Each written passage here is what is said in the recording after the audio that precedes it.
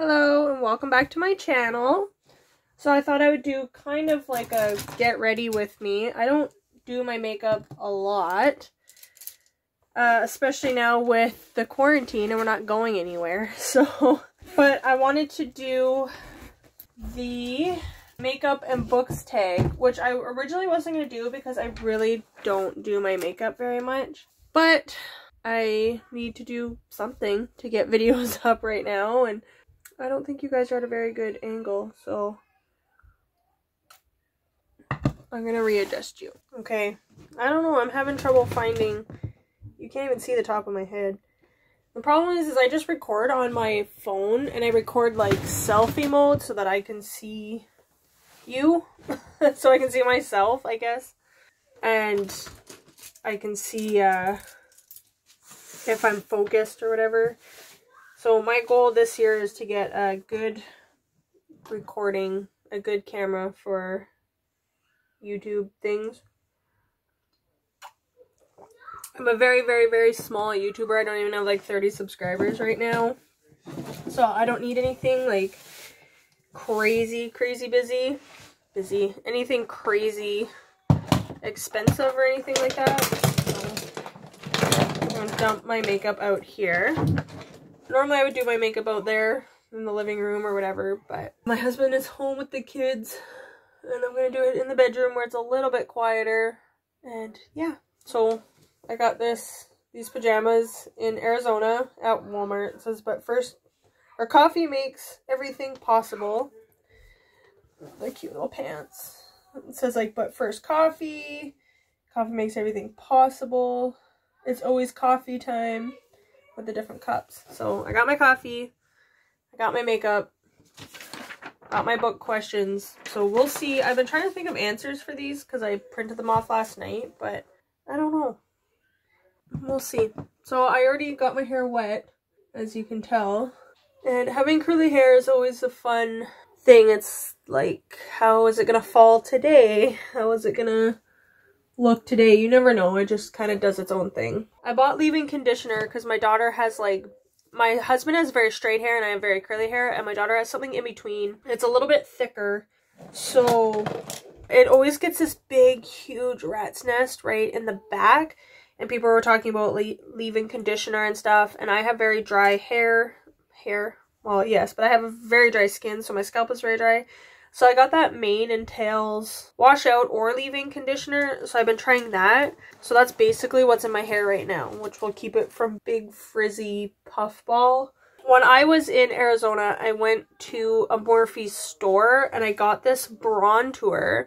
So bronzer and contour, but I don't do my makeup enough to even know how to use this. So I gotta watch some videos on how to do that. So this is gonna be very basic. I never even used primer I just bought primer this year, actually. So this is a foundation primer, revitalizer. So it's if you have dry skin from Morphe. I'll do the thing, but it's not going to focus anyways. But anyways, Morphe. I just bought this in February, so I never used primer before. And I don't even really use complexion corrector cream, like foundation, because I have... My one doctor diagnosed it as perioral dermatitis. So, I don't know. I've been suffering with it for at least eight years. I don't know. I can't remember if I had it before I had kids or not. But it gets, like, severely... This will get really red around here. It cracks. It burns. It's itchy. It's very painful. My one doctor said it was a vitamin B12 deficiency, but I don't think so. Anyways, I've been given some cream for it for the perioral dermatitis. I've been given some cream for it, and that helps a little bit, but I find if I put, first of all, my skin is very sensitive, and I like the Mary Kay products, and I find that they're okay on my skin, but because it's already broken out and really bad, putting anything on it just irritates it.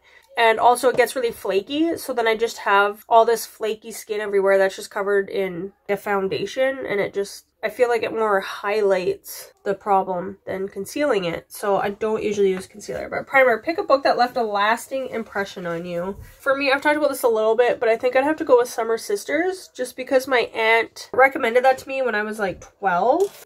by Judy Blume. She recommended this to me when I when I was 12 and I've read it a couple of times since then, but it's been a few but it's been a few years.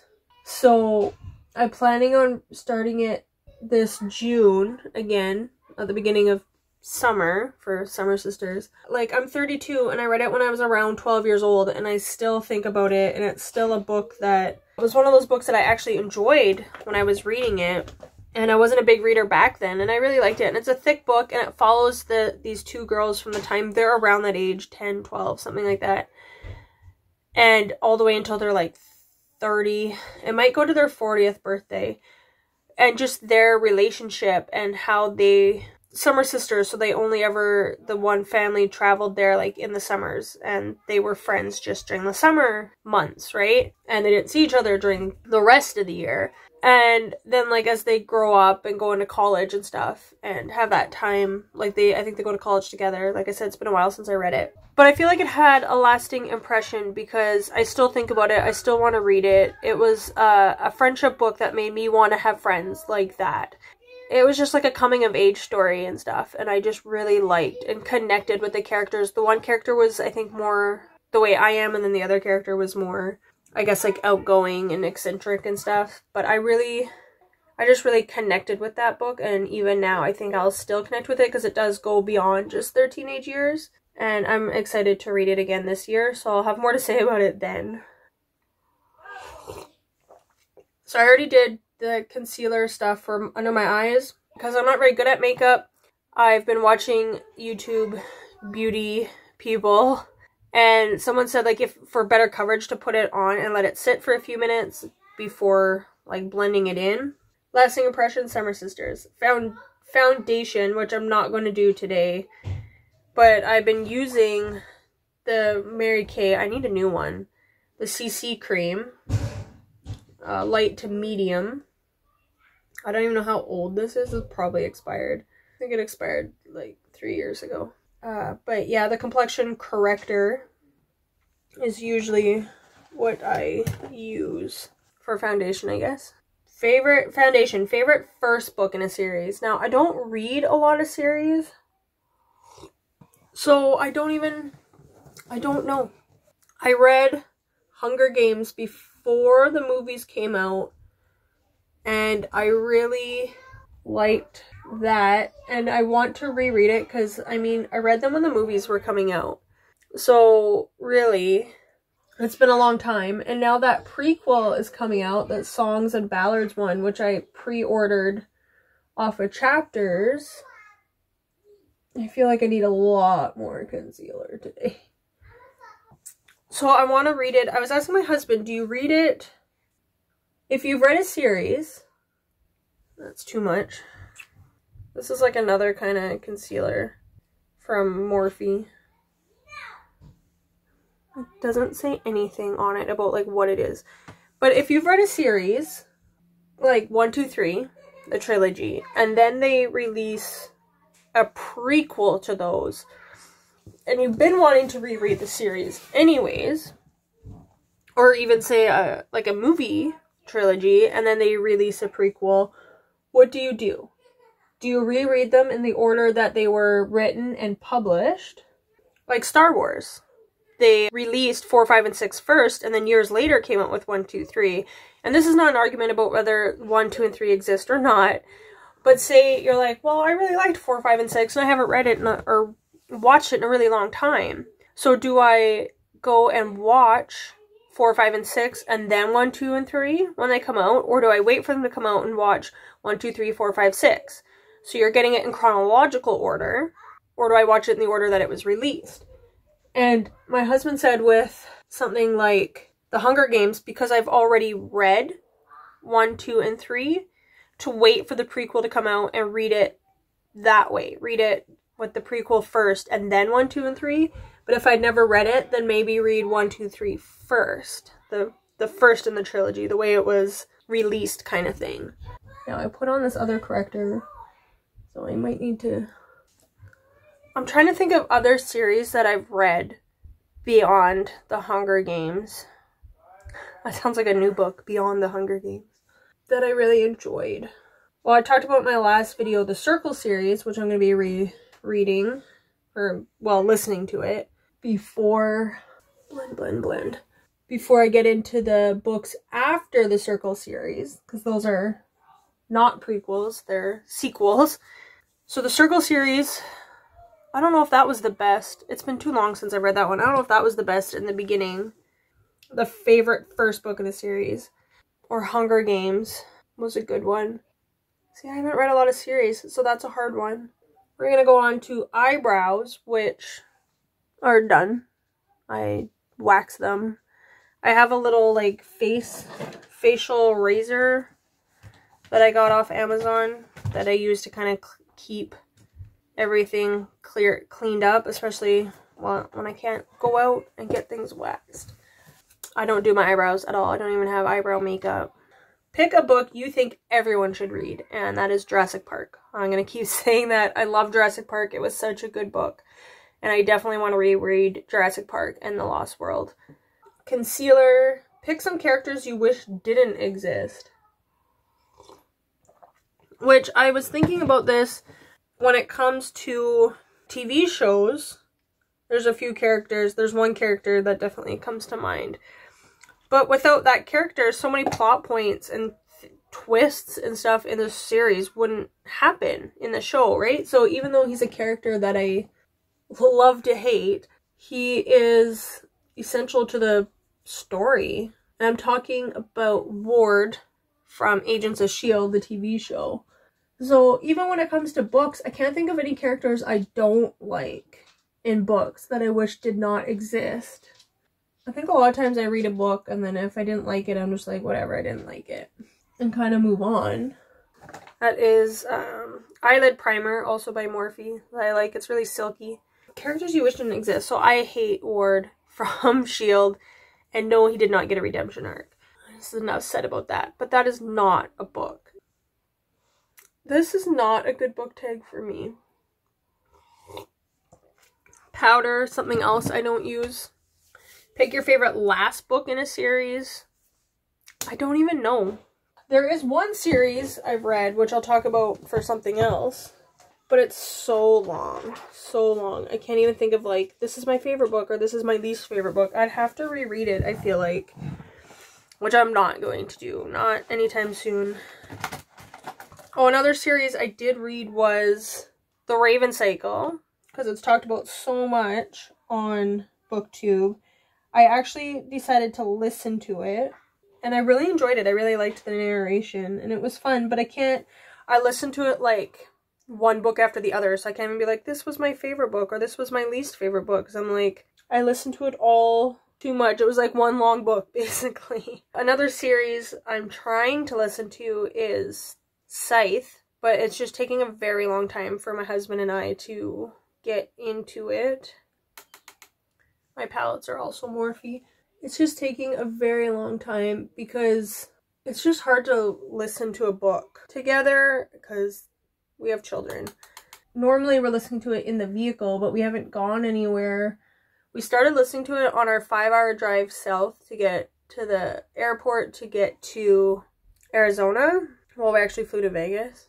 We went very around about trying to decide what I want to do we were listening to it. It's a five hour drive. It's like a 10 hour book, but we only had the CD for it, so we couldn't even listen to it at like a sped up thing, a sped up rate. And my husband doesn't like to just listen. Like if we're on a five hour drive, he wants to break it up with like a podcast or a book or music. He doesn't want to just listen to straight five hours of a podcast or a or an audiobook, which I can understand that for sure.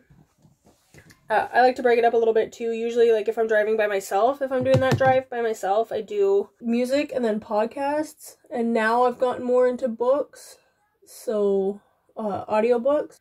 Scythe is taking us a long time. We listened to it a little bit on the drive there and then on the drive back, but since we got back a month ago, we haven't listened to it at all. I do some like highlighting here. I don't know what colors I want to do. Powder, pick your favorite last book in a series. I'm also going to be rereading the Sunwing series with the bats. So I'll have more information on that. I don't think the last book in that was my favorite though. The first the first book in a series, that was probably one of my favorite. Uh, I am enjoying Scythe. And it's been too long since I've read Hunger Games, even though Hunger Games is probably one of the best. Eyeshadow. Pick a book with your favorite colors on the cover. Okay, so my favorite colors, when I was a kid, my favorite color was actually red. And now it's more like pink and gold and sparkly.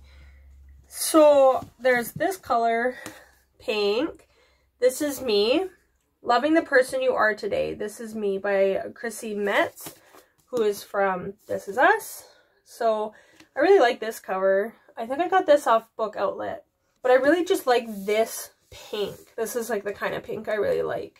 Um, well, obviously I'm wearing like a light pink, which I also like, but the, the bright or the dark or the hot pinks and hot colors is what I am more drawn to, I guess. But this is just a really pretty cover.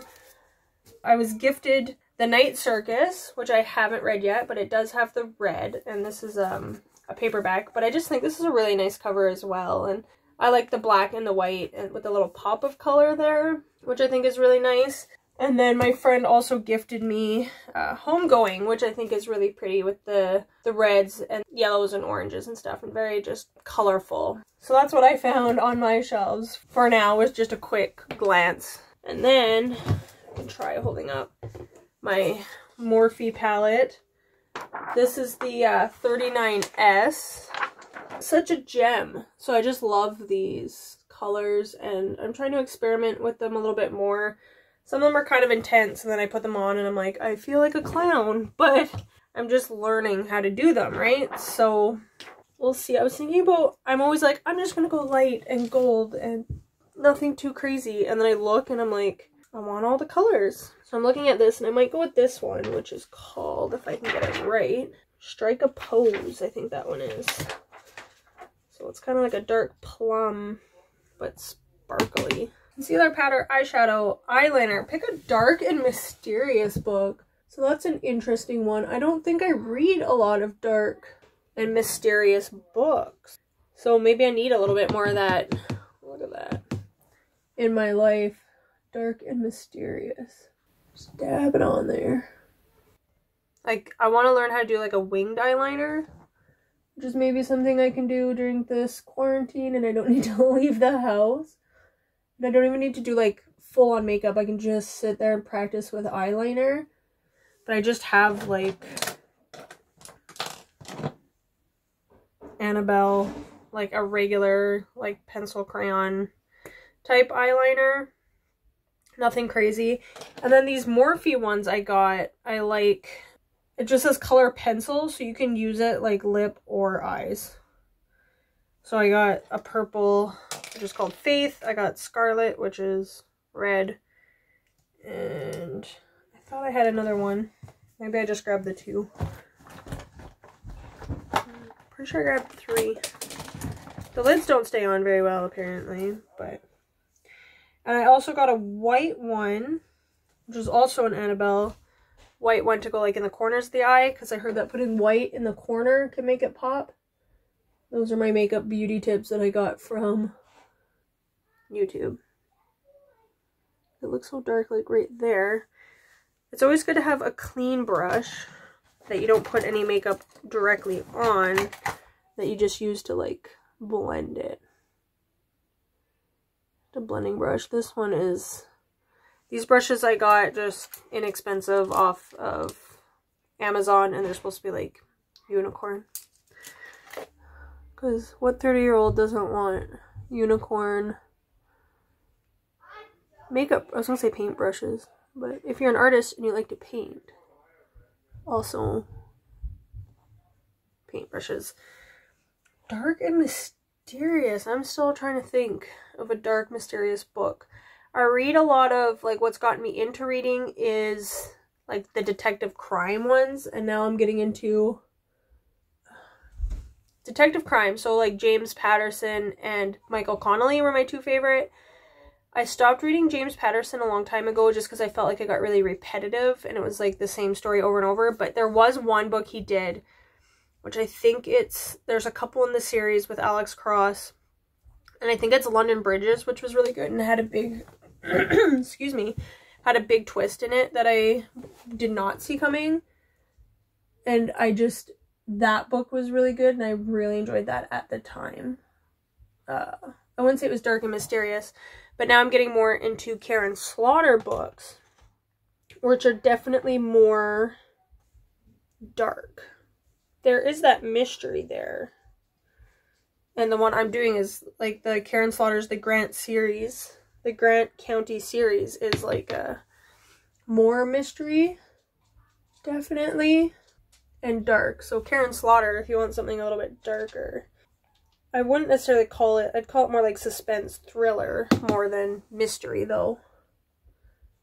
But apparently I don't read a lot of mystery. Yeah, I'm just going like shiny today, apparently. Uh, so if you want dark, Karin Slaughter is pretty gruesome. Mascara. Pick a long book. So this is the one where I've read the series. I have e.l.f., but it hasn't been working. It's, I think it's kind of running out. So I got Wet n Wild Mega Volume Mascara. I really like Mary Kay. No, we're supposed to do eyeliner first. I really like Mary Kay. It's just I don't have the money for it right now. So I haven't bought it. I don't know if you can see me when I like lean in here. So pick a long book. Outlander.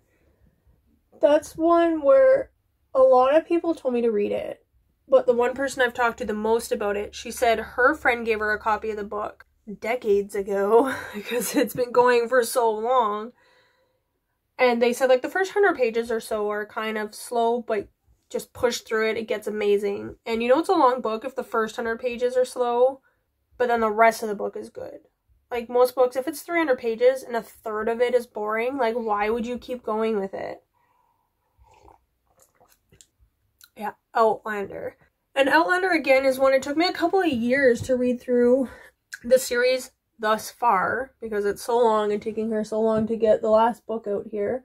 I don't know if it's the last book or just the latest book, but either way. It's hard for me to remember what happened exactly in each book. So I remember what happened like in the first book basically, but I wouldn't necessarily say that was the best in the series. And there's a character in there that you hate. Blackjack Randall? Is that what they call him? But again, you need him. You can't like talking about a character you wish didn't exist you need these bad characters. And that question about what character you don't want to exist isn't doesn't necessarily mean like the villain, the bad guy. It's just it could be the the main character, it could be the protagonist. You just really didn't like that person. But even with that, I can't think of any characters that I found were pointless or useless or I didn't I really didn't like them or they were pointless. They just didn't need to be there. I can't think of any characters like that. But a long book, even just the first book in Outlander is, I'm pretty sure, like somewhere around 600 pages, and then they just get longer after that. It's hard for me to judge the size of the books because I read them all through Overdrive on my Kobo, which was great because then you don't have to sit there and hold this like big book. Like I brought one of the books, the third or fourth one, to Japan with me, but just through my Kobo, and I wasn't carrying like this huge book in Japan.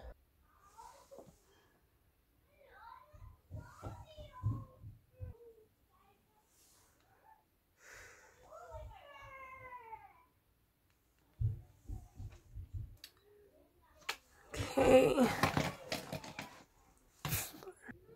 Okay, is it just me? I always get mascara, like, if I could do mascara first, I would, because I always get it, like, up in my eyeshadow and stuff, but leave it on, it will dry, and then you can just, like, scrape it off. I didn't leave it on very long, but Dark Mysteries, long book, long series, Outlander, Blush, pick a book with a cringeworthy romance. Now this is why I didn't want to do this book tag, because I'm like, I'm going to have nothing to contribute to any of these. This is just like e.l.f. or something cheap from the drugstore. I'm going to have nothing good to to contribute. I can't think, I have got nothing to contribute for a cringeworthy romance. I can't think of can't think of anything. Of course. Um, highlight. Pick a book that brightens your day. I like chick flicks and girly movies and stuff. I'm all here for that, but I don't read a lot of romance books. What was the one I just read last year? It was like kind of like a fangirl. This boy, as a teenager, played in a like a sitcom kind of thing, like Dawson's Creek kind of idea. And then he went to college to become a lawyer, and she's also a lawyer, like family, like not family estates, but I can't think of the word for it. Hi. I was like, where is she? What's it called when like you have a lot of money? Like a trust maybe? Like family trusts or something like that. And you're stepping on my makeup. Oh. Say hi, Maribel. Say hi. She's lying on my Morphe palette. Say hi. It was like a fangirl romance basically, and it was not the best. You just cut me out of your video. You can just say random stuff like, like chickens.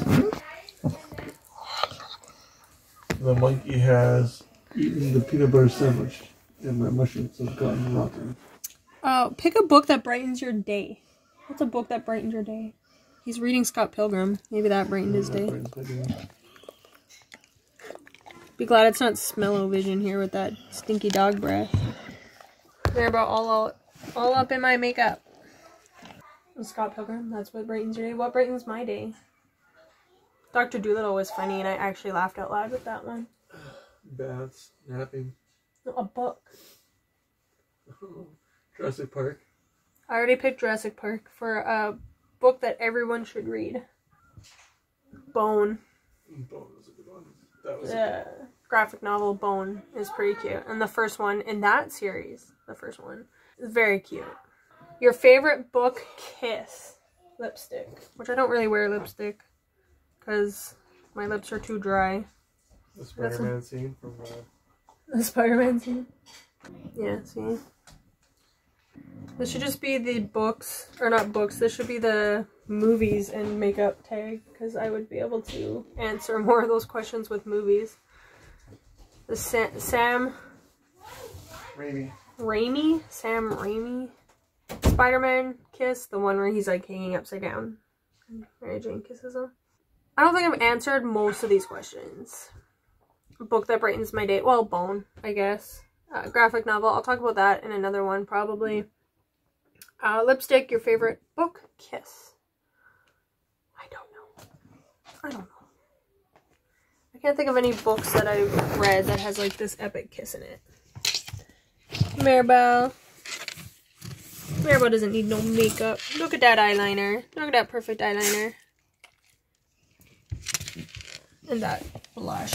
Not blush, but... Aw. She's just been a big suck lately. She's 11 and a half years old. She'll be 12 in August, so... She's just our big giant baby. There we go. Look at those jowls. My husband had the garbage out and thrown out some chili and it had beans in it. And then she was in the car sitting there and I saw like her jowls were brown, like this reddish brown color. And I'm like, did she get into the chili? And he's like, I thought I saw the garbage bag was down a little bit and Maribel was nowhere to be seen. Oh, oh, I got a good spot. Oh. Anyways, I think I'm going to end this here. I don't have a good kiss scene. The Notebook, I'm talking about movies. The Notebook had a good kiss scene in it, of course. And I did read that book, so it counts. Uh, Nicholas Sparks. Nicholas Sparks always has the good romance, right? Anyways, I'm going to end that here. And I thanks for watching me. Get ready. And my dog. Say bye, Maribel. Say bye. Say bye. Oh, she just wants belly rubs. Look at those paws. Look at those paws. I love her paws. She doesn't like me touching her paws because of arthritis. Anyway. Oh, there you go. Thank you for getting ready with me and watching me do my makeup and hope that my hair, it's so flat and I don't do anything with it. But I think it turned out fairly nice. So, yeah, thanks for getting ready with me, and I'll see you next time. Bye! Kiss.